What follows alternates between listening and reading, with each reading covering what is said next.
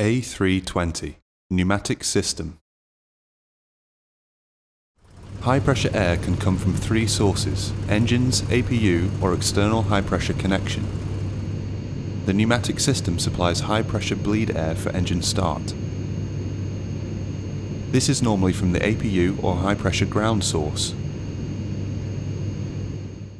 Wing anti-ice.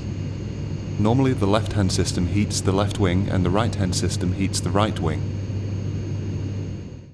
Air is normally bled from the intermediate pressure stage of the engine. If this pressure is too low, then the high pressure bleed valve opens to supply the required pressure.